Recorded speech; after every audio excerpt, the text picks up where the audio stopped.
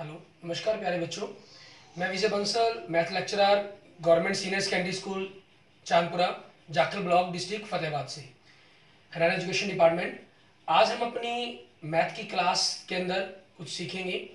हाँ जी, प्यारे बच्चों, जो आज हम शुरू करेंगे, हमारे पास हमारी क्लास नाइन्थ का, ठीक है, हमारा चैप्टर टेंथ ब्रिथ उसके बारे में हम शुरू कर, बात करेंगे आज, ठीक है। इसमें सबसे पहले हम इसकी कुछ बेसिक बातों के बारे में जानते हैं।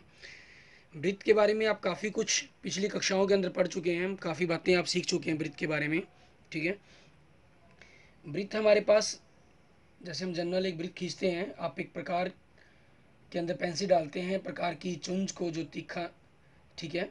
नुकीला सिरा है उसको आप एक सिरे पर रखते हैं और पेंसिल से घुमाते हुए इस प्रकार से आपके पास एक बनकर वृत्त तैयार हो जाता है, ठीक है? वृत्त हमारे पास एक टू डायमेंशनल आकृति है, ठीक है?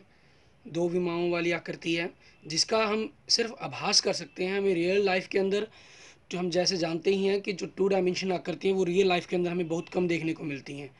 टू डायमेंशनल आकृतियों के अंदर परछाई हमारे पास एक ऐसा एग्ज़ाम्पल है, ठीक है? जो आपके पास हम देख पाते हैं। नहीं है हम सिर्फ़ आभास करते हैं। किसी भी चीज़ का, क्योंकि किसी ना किसी चीज़ की, जो भी चीज़ आप देखते हैं दुनिया में, उसकी कुछ ना कुछ मोटाई होती ही होती है, ना मात्र मोटाई हो चाहे तो वो टू डायमेंशन से थ्री डायमेंशन के अंदर कन्वर्ट हो जाती है, ठीक है? और यहाँ हम बात कर रहे हैं एक वृत्त की, वृत्त हमारे पास किसी भी तल के ऊपर बना हुआ, ठीक है? एक ऐसा इस तरह की आकृति को हम वृत्त कह लेते हैं, और ये जो भाग है हमारा, यूँ कहें हम इसको वृत्ताकार भाग कह लेते हैं। इसके लिए कहा भी जाता है कि एक तल पर उन सभी बिंदुओं का समूह, जो तल के एक स्थिर बिंदु से, ठीक है, तल के एक स्थिर बिंदु से एक स्थिर दूरी पर स्थित हो, एक वृत्त कहलाता है, ठीक है। अब इसके अंदर जो हमारा ये स्थिर बिंदु है, ठीक है, इसको हम वृत्त का केंद्र कहते हैं और जो ये स्थिर दूरी है, इसको हम वृत्त की त्रिज्या कहते हैं, ठीक है। ये हमारे पास इसके वृत्त के अंदर बारे में रहता है। ये हमारा जो भाग है, ये वृत्त कहलाता है हमारा और वृत्त के जो वृत्त है किसी भी तल को, जैसे मान लीजिए हमारा ये तल हो गया, इस तल को तीन भागों के अंदर ये विभाजित करता है, ठीक है? जिसमें आपका ये भाग है जो हमारे पास, ये अभियंतर कहलाता है हमारा, अंदर की तरफ़ का भाग हो गया आपके पास, ठीक है? वृत्त का, और ये वृत्त का हमारा बाहरी भाग हो गया। मीन्स जिसको हम बाहरी भाग कहते हैं, वही भाग हो गया हमारे पास, वृत्त का। और ये वृत्त का ऊपरला भाग हो गया आपके पास। अब जैसे कोई बिंदु अगर यहाँ है तो वो कहलाएगा कि वृत्त के वही भाग के अंदर है। अगर कोई बिंदु यहाँ पर है तो वो वृत्त के अभ्यंतर में कहलाएगा। अगर कोई बिंदु यहाँ पर है हमारे पास तो वो वृत्त के ऊपर कहलाएगा। ठीक है? इन्हीं चीज़ों की जानकारी के साथ ही हमारे पास वृत्त के बारे में हम कुछ और बातों के बारे में चर्चा करते हैं। वृत्त के अंदर, वृत्त के किसी भी दो बिंदुओं को मिलाकर जो रेखा हमें प्राप्त होती है, उसे वृत्त की जीवा कहा जाता है। ठीक है? और वृत्त के केंद्र में से गुजरने वाली मतलब वृत्त की सबसे बड़ी जीवा, वृत्त के केंद्र में से गुजरने वाली, वृत्त की सबसे बड़ी जीवा, या यूँ कहा जाए कि आपसे पूछा जाए, वृत्त की सबसे बड़ी जीवा को क्या कहते हैं? ठीक है? वृत्त का व्यास कहते हैं इसको हम। ठीक है? इसको क्या कहेंगे? व्यास। और किसी भी जीवा के, मान लीजिए वृत्त हमारे पास एक वृत्त ले लेते हैं, ठीक है, आपके ये दो भाग दे दिए गए, ये हमारे पास चाप और एक ये चाप, दोनों ही वृत्त की चाप कहलाएँगी, ठीक है, मान लीजिए ये पी क्यू है हमारे पास, एक तो चाप आपके पास पी क्यू होगी, ठीक है, और एक दूसरी चाप इसको हम पी क्यू बड़े रूप में कहें तो आपके पास जो ये चाप है, ये दीर्घ चाप कहलाएगी हमारी, दीर्घ चाप पी क्यू कहलाएगी, और जो ये चाप है हमारे पास ठीक है? इसको हम अपनी लघु चाप कहेंगे। लघु चाप लघु चाप पी क्यू कहेंगे। ठीक है? इस तरीके से आपकी सारी चीज़ों का वर्णन किया जाता है। आगे हम थोड़ा सा और बात करते हैं इसके बारे में। ये चाप होगी हमारे पास। मान लीजिए आप इन दोनों बिंदुओं को मिला देते हैं। ठीक है? तो आपके पास जो ये छायाकित भाग हो गया, ये वाला भाग हमारे पास। ठीक है? इसको हम बोलते हैं लघु वृत्तखंड लघु वृत्तखंड कहलाएगा। और जो ये भाग है हमारे पास, ये हमारा कहलाएगा दीर्घ वृत्तखंड। ठीक है? और अगर यही इसी के साथ साथ आपके पास ऐसा होता, मान लीजिए वृत्त के केंद्र से इनको मिलाया गया होता, इन बिंदुओं को, पी और क्यू को, ठीक है? तो फिर आप इस भाग को भी बीच में शामिल कर लें, ठीक है? तो ये जो सारा भाग है आपके पास, ठीक है, इस पूरे भाग को हम क्या कहेंगे? हमारा त्रिजा खंड कहेंगे आपके ये त्रिजा खंड कहलाएँगे, ठीक है? ये भी और ये वाला भाग भी आपका त्रिजा खंड कहलाएगा। हम इसको दोबारा से एक अलग आकृति पर बना लेते हैं। अगर बात करें, जैसे ये देखिए, वृत्त आपके पास, वृत्त के अंदर से हम इनको मिला दिया, ठीक है? तो ये भाग हो गया हमारे पास। ये हमारा त्रिजा खंड कहलाएगा और ये भाग भी हमारा त्रिजा खंड कहलाएगा। ठीक है? जैसे वृत्त की जीवा द्वारा जो वृत्त को दो भागों में विभाजित किया गया, वो वृत्त खंड कहलाए और जीवाओं द्वारा सॉरी वृत्त की त्रिजाओं द्वारा जो, ठीक है, इनके खंड किए जाएँगे, इनको हम त्रिजा खंड कहेंगे। क्योंकि ये इस पूरे खंड के मुकाबले छोटा है तो इसको हम लघु दीर्घ, लघु त्रिजा खंड कहेंगे और इसको हम दीर्घ त्रिजा खंड कहेंगे। ठीक है? हमारे पास क्लियर अभी इन्हीं चीज़ों पर बेस्ड आपके पास हम एक्सरसाइज टेन पॉइंट प्रश्नावली दस पॉइंट एक के देखिए बारे में देखेंगे। इसके जो पहले क्वेश्चन हैं, इसके अंदर आपको खाली स्थान दिए गए हैं, ठीक है? हमारे पास खाली स्थान ही भरने हैं हमें। खाली स्थान भरें। आपका पहला देखें, इसका पहला भाग। हमें क्या कह रहा है? वृत्त का केंद्र वृत्त के डैश में स्थित होता है। वृत्त का केंद्र ठीक है? देखिए कहाँ स्थित होता है। बिल्कुल सही। वृत्त हाँ कहाँ बताएँगे? बिल्कुल सही हमने। ठीक है? हमारे पास कहाँ स्थित होता है ये? अभ्यंतर के अंदर। ठीक है? वृत्त के अंदर स्थित होता है हमारे पास, वृत्त का केंद्र बिंदु और दूसरा देखें, इसके अंदर खाली स्थान हमें क्या दे रहा है ये? ठीक है? एक बिंदु जिसके वृत्त के केंद्र से दूरी त्रिज्या से अधिक हो, वृत्त के डैश में स्थित होता है। एक बिंदु है जो हमारे पास जिसकी दूरी वृत्त के केंद्र से त्रिज्या से अधिक है। त्रिज्या से अधिक होने का मतलब क्या हुआ कि वो बाहर की तरफ़ चला गया। ठीक है? तो उस वो बिंदु कहाँ होगा हमारे पास? वही भाग के अंदर होगा। ठीक है? जैसे आप देख सकते हैं इसके अंदर, हमारे पास वृत्त है, ये केंद्र है, अंदर की तरफ़ हो गया, और त्रिज्या से ज़्यादा दूरी, मान लो अगर पाँच है तो छः सेंटीमीटर की दूरी पर एक बिंदु लोगे तो वृत्त के बाहर की तरफ़ बनेगा हमारे पास। आगे देखिए तीसरा खाली स्थान, वृत्त की सबसे बड़ी जीवा वृत्त का डैश कहलाती है, ठीक है? खाली स्थान क्या कहलाती है? व्यास। इसके बारे में हम अभी बात कर चुके हैं क्लियर इसका चौथा भाग देखें, एक चाप डैश होता है जब इसके सिरे एक व्यास के सिरे हों। ठीक है? कहना एक चाप हमारे पास डैश होता है जब इसके सिरे ब्यास के सिरे हों। मीन्स आपके भी ये मान लेते हैं ब्यास हमारे पास, ठीक है? ये चाप आपके पास। तो इस चाप को क्या कहेंगे हम, ठीक है? अगर छोटी होती आधे भाग से तो हम लघु वृत्तखंड कह लेते, बड़ी होती तो दीर्घ वृत्तखंड कह लेते। अब ये दो बराबर भागों में बांट रही है तो हमारे पास क्या कहलाएगा हमारा? अर्धवृत्त, ठीक है? इसे हम क्या कहेंगे? अर्धवृत्त। अर्धवृत्त कहलाएगा हमारे पास ये। क्लियर उसके बाद नेक्स्ट देखेंगे हमारे पास पांचवा भाग। इसके अगर वृत्तखंड एक चाप तथा डैश के बीच का भाग होता है। वृत्तखंड। मीन्स ये आपकी चीज़ छोड़ दी गई है। ये हमारे पास हो गया वृत्तखंड। चाहे हम इधर वाले छोड़ लघु की बात करें चाहे दीर्घ की, दोनों हैं तो वृत्तखंड ही। इन्होंने कहा वृत्तखंड क्या होता है? एक चाप, मान लीजिए चाप है, और किसके बीच का भाग है ये? जीवा। ठीक है? जीवा के बीच का भाग होता है। उसके बाद हम बात करते हैं नेक्स्ट हमारे पास खाली अगले खालिस्तान की हमारे, ठीक है? एक वृत्त जिस तल पर स्थित हो, उसे कितने भागों में विभाजित करता है? आपको मैंने बताया था, एक हमारे पास उसका वही भाग हो गया, एक अभ्यंतर हो गया और एक वृत्त के ऊपर हो गया। तो उसे कितने भागों में विभाजित करता है? तीन भागों के अंदर।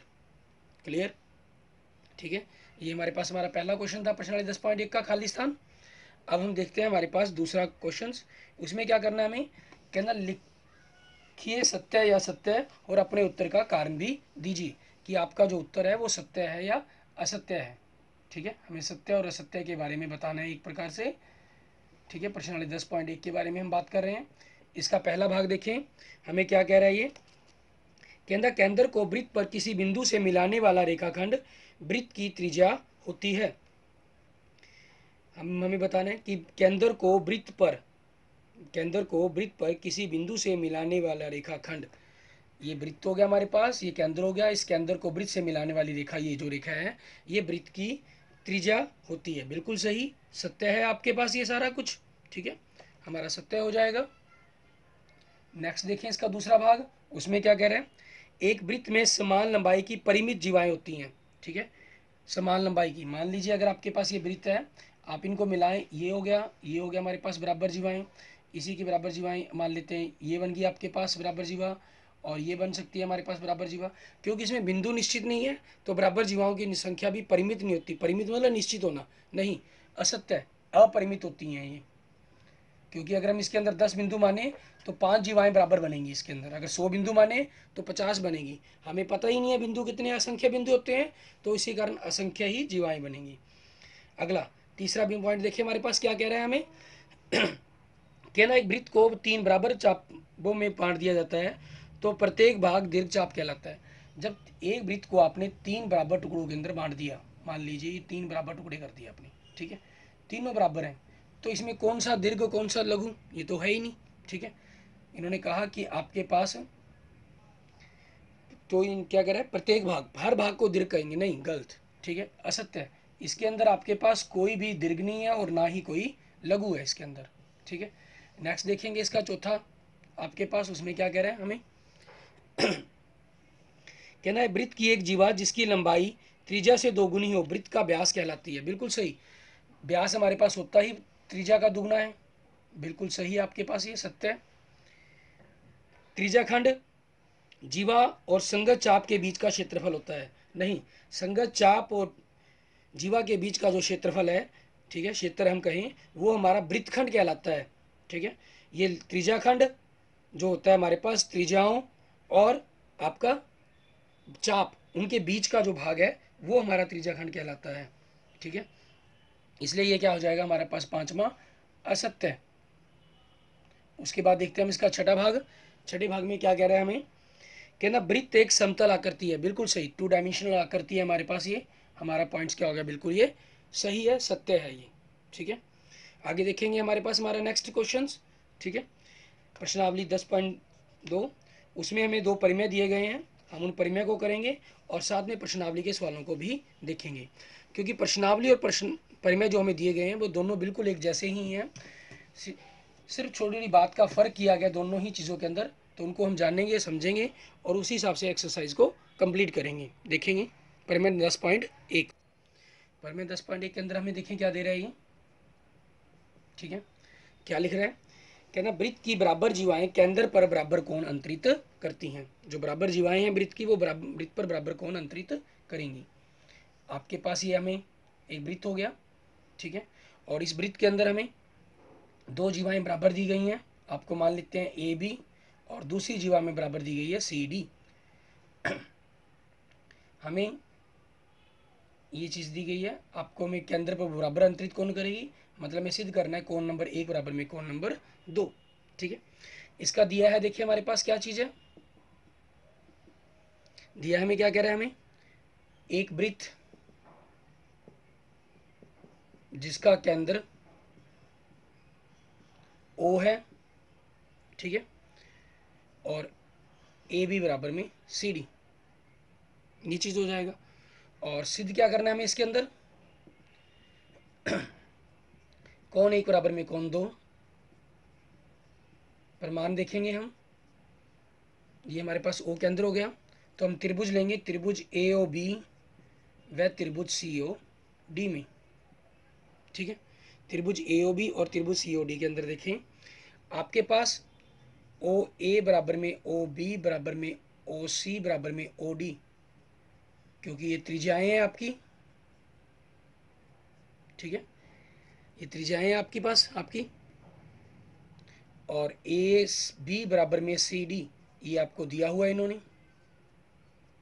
तो इसका मतलब क्या हुआ हमारे पास? ठीक है, हमारी जो त्रिभुज है, त्रिभुज ए ओ बी वो सर्वांगसम होगी आपके पास, त्रिभुज सी ओ डी के साथ।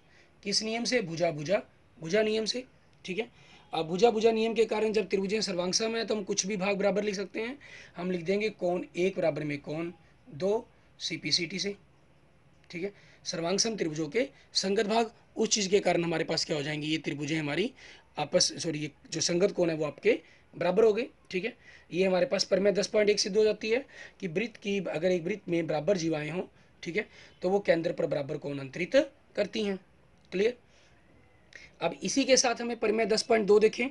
एक्सरसाइज में बिल्कुल सेम यही चीज़ें करनी है हमें, लेकिन हम यहाँ पर, क्योंकि इसको साफ़ नहीं करेंगे। हम देखेंगे इसी चीज़ के ऊपर हम कैसे आगे क्वेश्चंस को बढ़ाएँगे।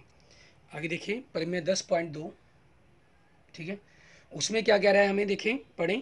कहना, यदि एक वृत्त की जीवाओं द्वारा केंद्र पर अंतरित कोण बराबर हो मतलब इसमें हमें ये कोण नंबर एक और दो बराबर दे रहा है तो सिद्ध कीजिए तो वो जीवाएँ भी बराबर होंगी। मतलब यहाँ पर आपके पास क्या है, सिर्फ़ दिया हुआ का कंसेप्ट चेंज हुआ है। आपको बराबर में कौन एक नंबर दो दिया गया है, हमें बराबर में सिद्ध करना है ए बी बराबर में सी डी ठीक है?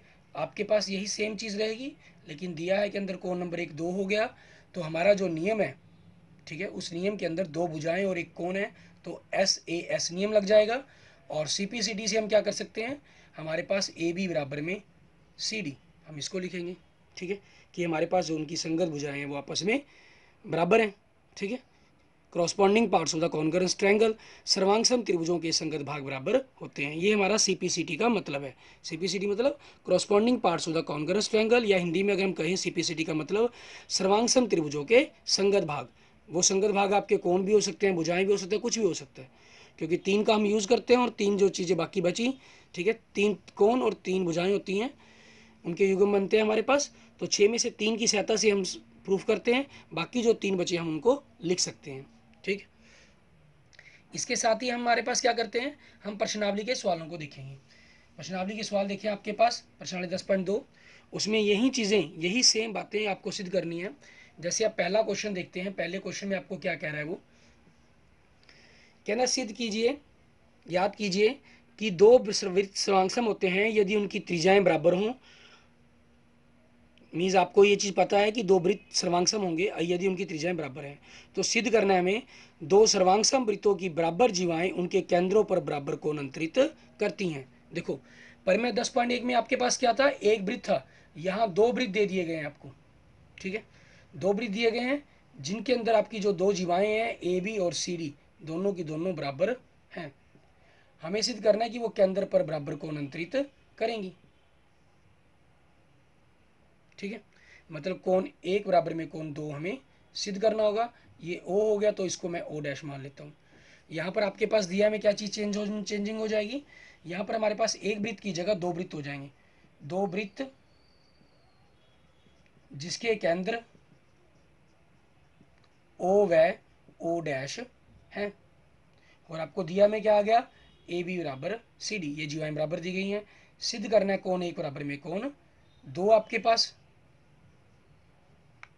ठीक है? ये चीज़ आपको सिद्ध करनी है। तब उसी चीज़ का यूज़ करते हुए हमने वही सेम जैसे उसके अंदर किया, वैसा सेम हम यहाँ पर कर रहे हैं। हमने वही त्रिभुजे ए ओ बी और सी ओ डी ली। बस यहाँ पर आपके पास ओ डैश हो जाएगा। ठीक है? Means O dash C O dash D आ जाएगा। और यहाँ पर आपके पास अकेले त्रिज्याएँ ना लिखकर हम इनको लिखेंगे सर्वांग वृत्तों की त्रिज्याएँ। ठीक है? यहाँ पर थोड़ा सा कंसेप्ट आपका चेंज लिखा जाएगा। ठीक है? क्योंकि आपके पास सर्वांगसम पूरा लिखना है, सर्वांगसम लिख दें। आप सिंबल भी बना देते हैं, तब भी कोई दिक्कत नहीं है। सर्वांगसम वृतों की त्रिज्याएँ। ठीक है? हमारे पास ये बन जाएगा, सर्वांगसम वृतों की त्रिज्याएँ। आपस में बराबर होती हैं क्योंकि, ठीक है? दो वृत्त अगर सर्वांगसम है तो उनकी त्रिज्याएँ बराबर हैं। यदि त्रिज्याएँ बराबर हैं तो उनकी वृत्त आपस में सर्वांगसम है। तो अब हमारे पास ये हो गया। और ए भी बराबर में सी डी, ये आपको दिया हुआ है इन्होंने। ठीक है? ये दिया गया हमें तो उस चीज़ के कारण अब हमारे पास क्या हो जाएगा? यहाँ पर अगर हम देखें, आपके पास इसलिए त्रिभुज ए बी सर्वांगसम त्रिभुज सी ओ डी हो जाएगा और नियम लगेगा एस एस एस भुजा भुजा नियम। इसलिए अब सी पी सी टी से हम कुछ भी बराबर लिख सकते हैं। सर्वांगसम त्रिभुजों के संगत भाग, ठीक है? कौन एक बराबर में कौन दो, जो हमें सिद्ध करना था। क्लियर ऐसे ही हम इसका नेक्स्ट भाग देखते हैं। हमारे पास। दूसरा क्वेश्चन कहना सिद्ध कीजिए, यदि सर्वांगसम वृत्तों की जीवाएँ उनके केंद्रों पर बराबर कोण अंतरित करती हैं मीन्स दो वृत्त हैं जो आपस में सर्वांगसम है, और हमें दिया गया है कि कौन एक बराबर कौन दो। ठीक है, ये चीज़ आपको दी गई है इन्होंने।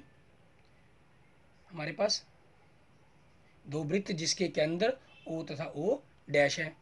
ठीक है, अब उसी चीज़ के अकॉर्डिंग हमें देखना है कि क्या करना होगा। और सिद्ध क्या करना है इसके अंदर? अगर कौन बराबर है तो जीवाएँ आपस में बराबर होंगी। देखिए आपके पास परिमेय दस पॉइंट दो, ठीक है? सेम उसी की तरह क्वेश्चन हो गया आपके पास ये। उसमें आपने क्या था? जीवाएँ एक वृत्त पर थी, बराबर, ठीक है? दस पॉइंट एक के अंदर। पहले क्वेश्चन में आपके पास क्या था? दो वृत्तों पर थी। दस पॉइंट दो परिमेय में क्या था? एक वृत्त के अंदर कौन बराबर थे आपके पास? ठीक है, दो कौन बराबर थे और उनसे बनने वाली जो अंतरित जीवाएँ थी, वो आपकी बराबर सिद्ध करनी थी। इसमें हमें दूसरे क्वेश्चन में कौन बराबर देखे जीवाएँ बराबर सिद्ध करनी है। ये आपके पास ये सेम चीज़ रहा, क्योंकि बराबर सर्वांग समृतों की जीवाएँ हैं, त्रिजाएँ हैं ये। और कौन एक बराबर में कौन दो? क्योंकि हमें ये दिया हुआ है इन्होंने। ठीक है? इसलिए हम इन दोनों त्रिभुजों को सर्वांगसम लिख सकते हैं। ठीक है? यहाँ ख्याल रखेंगे, आप ओ डैश ज़रूर लिखना है हमें। ठीक है? अगर बाई चांस मिस्टेक के साथ आपका ना लिखा गया हो पहले वाले क्वेश्चन के अंदर तो उसको ज़रूर लिखेंगे, क्योंकि हम यहाँ पर ओ नहीं ओ डैश की पर बात कर रहे हैं दूसरे वृत्त पर। एक वृत्त पर नहीं है ये बात। तो ये नियम कौन सा लगा इसके अंदर? भुजा कौन? भुजा नियम। तो अब उस चीज़ के आधार पर हमारे पास हम कुछ बराबर लिख सकते हैं। ए बी बराबर में सी डी ठीक है? क्यों? सर्वांग सम त्रिभुजों के संगत भाग हो जाएँगे हमारे पास। ठीक है? उस चीज़ के कारण ही हमारे पास क्या होगी? दोनों की दोनों चीज़ें बराबर हो गई। क्लियर अब इसी चीज़ का यूज़ करते हुए, ठीक है, हम देखेंगे हमारे पास आगे हमारा परिमेय दस पॉइंट तीन, ठीक है, परिमेय दस पॉइंट तीन में क्या कह रहे हैं आपको ये? परिमेय दस पॉइंट तीन में आप देखें, ये हमारे पास हमारे सिलेबस के अंदर इतने इंपॉर्टेंट नहीं है, ठीक है, इनके प्रूफ कहना, एक वृत्त के केंद्र से एक जीवा पर डाला गया लंब जीवा को समद्विभाजित करता है। आपके पास एक वृत्त है, ठीक है वृत्त के केंद्र से, ये मान लीजिए वृत्त का केंद्र बिंदु है, ये जीवा पर डाला गया लंब, ठीक है? जीवा होगी हमारे पास ए बी इस पर हमने यहाँ से लंब डाल दिया, मान लीजिए ओ एम ठीक है?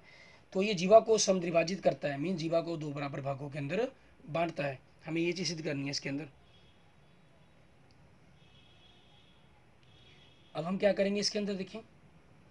सबसे पहले तो इसका दिया है, लिख लेते हैं। दिया है, एक वृत्त जिसका केंद्र ओ है, जीवा ए बी ओ एम लंब ए बी हमें क्या करना है? सिद्ध करना है। क्या चीज़ सिद्ध करनी है हमें? ए एम बराबर में एम बी रचना में आपने क्या किया? ओ ए व ओ बी को मिलाया। ठीक है? ये हमने मिला दिया। अब इसी चीज़ के ऊपर बेस्ड हमारे पास क्वेश्चन देखेंगे। इसमें क्या करेंगे हम आगे? प्रमाण के अंदर। हमने इनको रचना के अंदर मिला दिया। तो हम त्रिभुजों को ले लेंगे। त्रिभुज ए एम ओ व त्रिभुज बी एम ओ में। ओ एम बराबर में ओ एम दोनों के अंदर ही आ रही है हमारे पास ये। हमारी उभयनिष्ठ भुजा होगी। उभयनिष्ठ लिख लें, कॉमन लिख लें। ठीक है, उससे कोई फ़र्क नहीं पड़ता आपके पास, ठीक है वो एक ही बात है। और दूसरा नंबर देखिए हमारे पास ओ ए बराबर में ओ बी ये हमारे पास त्रिज्या होगी हमारी, ठीक है, क्योंकि एक ही वृत्त की त्रिज्याएँ हैं आपकी, वो हमेशा बराबर होंगी ही होंगी। और ये आपके पास देखें कौन नंबर एक बराबर में कौन नंबर दो कौन नंबर एक बराबर में कौन नंबर दो, ये नब्बे डिग्री का, ये आपको दिया हुआ था। अब दोनों त्रिभुजें आपकी क्या होगी? ए एम ओ सर्वांगसम त्रिभुज बी एम ओ नब्बे डिग्री का कौन है, उसके सामने की भुजा कर्ण है एक ठीक है, और एक दूसरा, तीसरी भुजा हमारे पास। मतलब आर एच एस नियम लगा इसके अंदर, ठीक है ना? आर एच एस नियम, समकोण, कर्ण और भुजा नियम, ठीक है? अब हमारे पास उस चीज़ के कारण दोनों त्रिभुज सर्वांगसम होगी तो हम सी पी सी डी से कुछ भी बराबर लिख सकते हैं।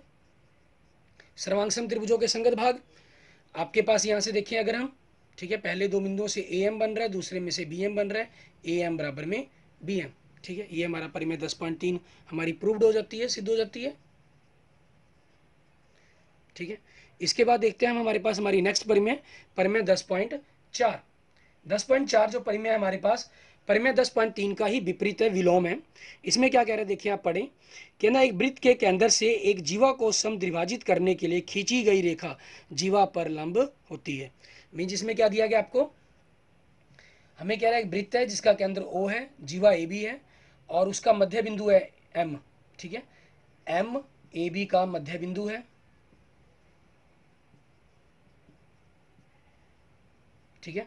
मतलब इस प्रकार से हम कह लें कि ए एम बराबर में एम बी आपको ये क्या कह रहा है कि जो हमने इस मध्य बिंदु को मिलाने वाली रेखा के अंदर को मिलाई है, ये इस पर समकोण डालती है, हमें ये प्रूफ करना है। मीन्स कोण एक बराबर में कोण दो बराबर में नब्बे डिग्री। ये चीज़ सिद्ध करनी है हमें। रचना के अंदर हम उसी कंसेप्ट को लेकर चलेंगे, उसी तरीके से मिलाएँगे हमारे पास, ठीक है? क्योंकि दो चीज़ें तो इनके अंदर सेम होगी। आपके पास ओ एम कॉमन है उभनिष्ठ है, और ओ ए बराबर में ओ बी दोनों के अंदर त्रिज्याएँ हैं, ये भी हमारे पास सेम रहेगी, ठीक है? और तीसरी हमें इसके अंदर खुद दी हुई है इन्होंने ए एम बराबर में बी एम ठीक है, ये दिया हुआ है हमें। अब दो त्रिभुजों की तीनों भुजाएँ आपस में बराबर होगी, ठीक है? तो त्रिभुजें आपस में आपकी क्या होगी? सर्वांगसम होगी। और नियम कौन सा लगा इसके अंदर? भुजा भुजा भुजा नियम लगा इसके अंदर। ठीक है? अब हम कुछ ही बराबर लिख सकते हैं सीपीसीटी से। हमने सर्वांगसम त्रिभुजों के संगत भाग आपस में बराबर होंगे। हमने कौन एक बराबर में कौन? दो लिख दिया। ये बराबर तो हो गए लेकिन हमें ये नब्बे डिग्री के सिद्ध करने हैं। अब क्योंकि कौन एक प्लस कौन दो बराबर में 180 डिग्री? 180 डिग्री के क्यों है ये? क्योंकि ये दोनों कोण आपके पास एक सरल रेखा पर बने हुए हैं। इसके हम कहते हैं रैखिक युगम। ठीक है? आपको याद होगा, हमने सिक्स चैप्टर के अंदर इसके अंदर बारे में पढ़ा है, ठीक है? पिछली कक्षाओं में भी रैखिक युगम के बारे में, काफ़ी पढ़ चुके हैं, और सिक्स चैप्टर के अंदर भी इसके बारे में हमने काफ़ी बातें डिस्कस कर चुके हैं। तो उसी के आधार पर हमारे पास कौन एक प्लस कौन दो का जो एक डिग्री, और दोनों बराबर हैं। इसका मतलब क्या हुआ कि दोनों का दोनों कितने के होंगे? नब्बे नब्बे डिग्री के होंगे, ठीक है? यही हमें इसके अंदर प्रूफ करना है। क्लियर कंसेप्ट ठीक है? इसके बाद देखते हैं हम, हमारा नेक्स्ट परिमेय परिमेय दस पॉइंट पाँच, ठीक है? उसको हम किस प्रकार से देखेंगे? कहना, तीन दिए हुए असरेक बिंदुओं से होकर जाने वाला एक और केवल एक ही वृत्त होगा, ठीक है? इसके बारे में। ये हमें सिद्ध करने की ज़रूरत नहीं है। इसके बारे में आप सिंपल जर्नल लिख सकते हैं, ठीक है? कि हमारे पास अगर तीन असरेक बिंदु हैं, ठीक है? उनसे आपके पास एक ही वृत्त खींचा जाएगा। हम क्या करेंगे? इससे हम रचना की रचना की तरह ही आपके पास पॉइंट लिखे जाएँगे सारे के सारे। आपको तीन बिंदु ए बी सी दिए गए हैं। ए बी बी सी और सी ए को मिलाया गया, ठीक है? इनमें किसी भी दो वृत्तों को, ठीक है? हम इस त्रिभुज बन गई हमारे पास, त्रिभुज ए बी सी बन, तैयार है। इनमें हम किसी भी दो भुजाओं का लमसम दरवाज़ा खींचेंगे, ठीक है? जहाँ पर वो मिलेगा, वो वृत्त का केंद्र कहलाएगा। ओ बी को त्रिज्या मानकर हम एक वृत्त खींचेंगे, जो इन तीनों बिंदुओं से होकर गुजरेगा, ठीक है? यह हमारे पास इस त्रिभुज का परिवृत्त कहलाएगा। अंतः सिर्फ़ तीन असरेक बिंदुओं से होकर सिर्फ़ एक ही वृत्त खींचा जा सकता है। ठीक है? इसी चीज़ पर बेस्ड आपके पास उदाहरण नंबर वन दिया गया सेम इसी कंसेप्ट के ऊपर। एक कहता है, एक वृत्त का चाप, ठीक है? ये हमारे पास परिमेय हमारा दस पॉइंट पाँच था। अब इसी पर हमारे पास उदाहरण नंबर एक हमारे पास डिपेंड करता है सेम इसी कंसेप्ट के ऊपर। एक वृत्त का चाप दिया हुआ है, इस चाप को वृत्त को पूरा कीजिए। मीन्स आपको एक वृत्त दिया गया, जैसे मान लेते हैं ये। हम क्या करेंगे? उस पर तीन बिंदु लेंगे असरिक बिंदु। या तीन असर एक ही होंगे, क्यों वृत्त पर लेंगे? तीन बिंदु ए बी सी लिए। ए बी और बी सी को मिलाया। ए बी का लमसम दराजा खींचा। ऐसे ही हम बी सी का लमसम दराज खींचेंगे। मीन्स आधे से ज़्यादा प्रकार खोलकर खींचेंगे आप। ठीक है? और जहाँ पर वो वृत्त आपस में बिंदु दोनों लमसम दराजे कटेंगे हमारे पास, वो वृत्त का केंद्र कहलाएगा। ओ ए को वृत्त की त्रिज्या मानकर हम वृत्त खींचेंगे, जो आपके पास इन तीनों बिंदुओं से गुजरता हुआ आपको एक पूर्ण वृत्त प्राप्त देगा। ठीक है, जिससे हमें एक पूर्ण वृत्त प्राप्त होगा। ओके क्लियर स्टूडेंट्स ये हमारे पास हमारी प्रश्नावली दस पॉइंट एक, दस पॉइंट दो के साथ साथ हमारी दस पॉइंट तीन के परमेय और उदाहरण भी कंप्लीट हो जाते हैं हमारे आज के लेक्चर के अंदर। आप इन सभी को करके देखेंगे, कोई किसी प्रकार की इनके रिगार्डिंग कोई प्रॉब्लम हो, ठीक है तो आप मुझे कमेंट बॉक्स में कमेंट कर सकते हैं। और अगर आपको मेरी वीडियो पसंद आए तो इसे लाइक करें। और मेरे चैनल विजय जाखल बंसल मैथ जो यूट्यूब चैनल है, उसको ज़रूर सब्सक्राइब करें अपने दोस्तों, मित्रों के साथ जो नाइन्थ क्लास में पढ़ रहे हैं और मैथ की वीडियो देखना चाहते हैं, उनके साथ मेरी इन वीडियो को ज़रूर शेयर करें। Okay thank you students thank you friends